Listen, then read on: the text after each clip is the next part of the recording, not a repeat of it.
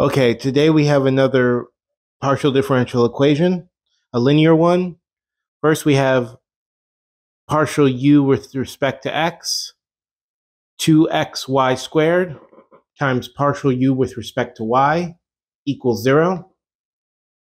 Now, we can think of this as du of xy dx equals partial u with respect to x plus dy dx partial u with respect to y. Now we know that, and we know that du dx is equal to 0.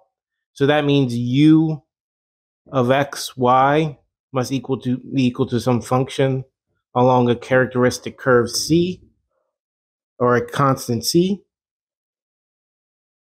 So what do we have to do? We have to solve for dy dx, um, which ends up being 1 over y squared dy equaling 2x dx.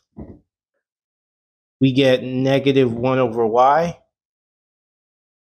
minus x squared equals c.